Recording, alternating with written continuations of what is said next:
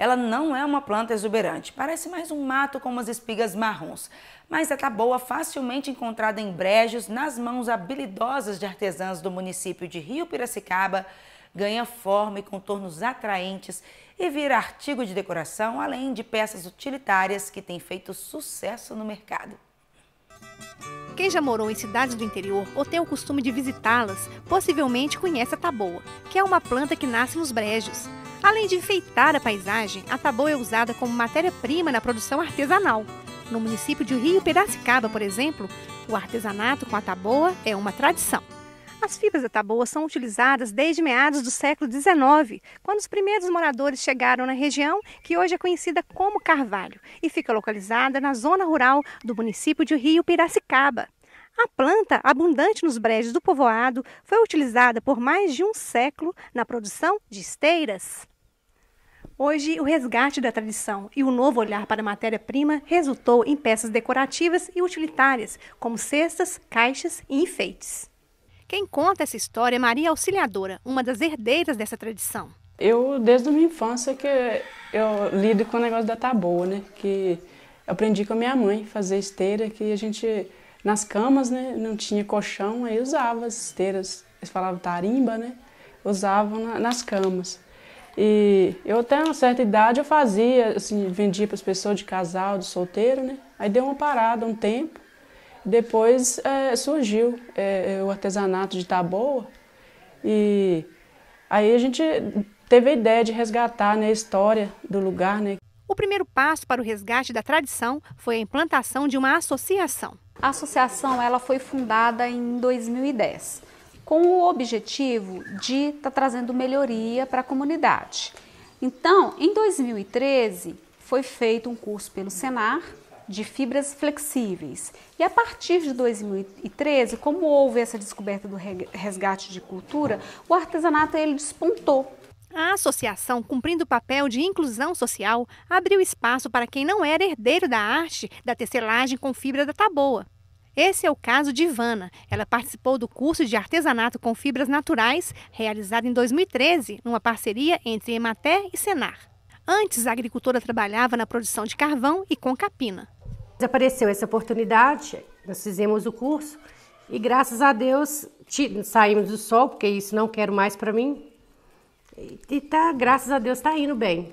A Emater acompanhou todo o processo de implantação e desenvolvimento do projeto. No primeiro momento, a gente se propôs a elas estarem se reunindo para produzir em conjunto, é, em tempos esporádicos a princípio, para poder estar estreitando os laços e também fazendo essa troca de experiência, que à medida que vai surgindo a dúvida na, na tecedura ou durante o processo de, de, de produção, para ir já tirando as dúvidas entre elas.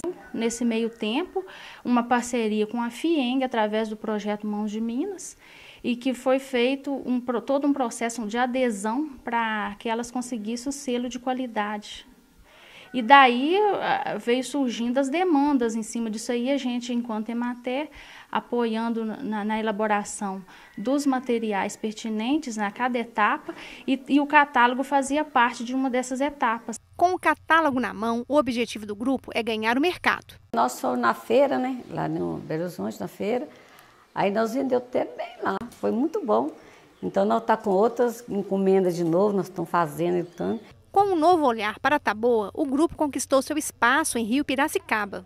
Os artesãos trabalham focados na preservação ambiental e na produção sustentável. Já conseguiram o selo Instituto de Qualidade, o IQS, que atesta que o artesanato tem qualidade e produção sustentável.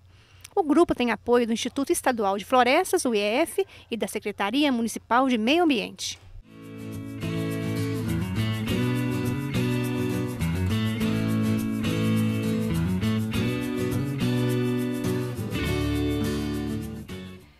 De herança dos portugueses, o frango ao molho pardo é preparado há séculos no Brasil. E a receita, apesar de bem tradicional, sempre tem um toquezinho especial de quem prepara. A de hoje vem lá de Belo Vale. Confira os ingredientes.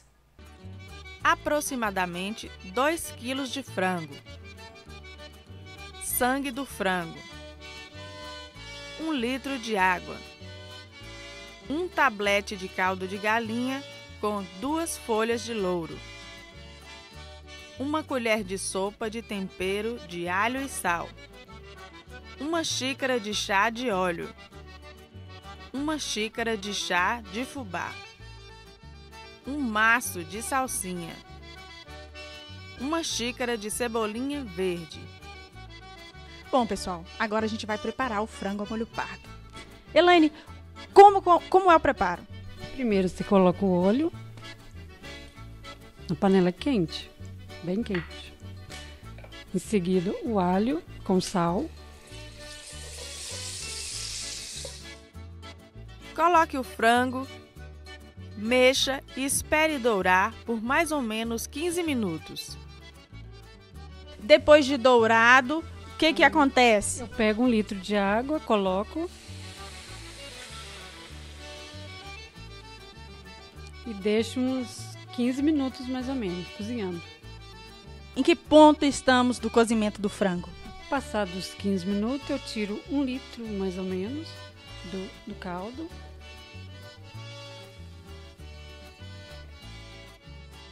Misture ao caldo o sangue, o fubá e o caldo de carne.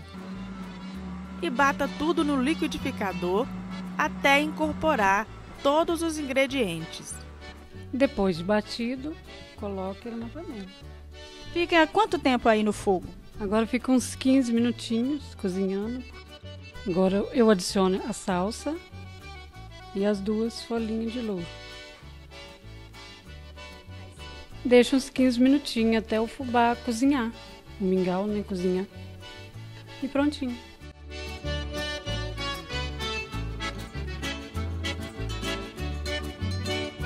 Frango ao molho pardo ficou pronto, não é mesmo? Prontinho. E agora? Vamos comer. Sugestão de acompanhamento: arroz, salada, couve e maionese.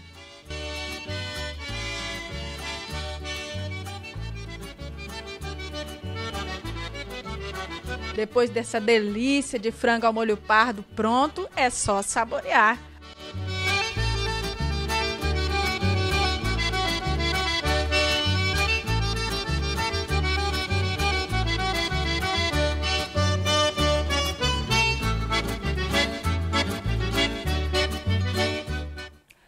Programa já está no finalzinho, mas para rever esta edição, as anteriores e ficar por dentro do que acontece na Emater, você pode acessar o site www.emater.mg.gov.br.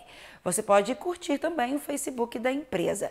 Para tirar dúvidas e ter informações técnicas, é só ligar no telefone 31 3349 8120 ou enviar um e-mail para atende@emater.mg.gov.br.